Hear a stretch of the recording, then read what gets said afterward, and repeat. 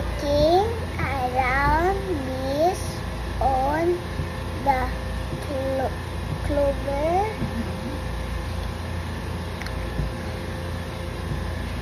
Birds on the sky. Rabbits the med- meadow with low grass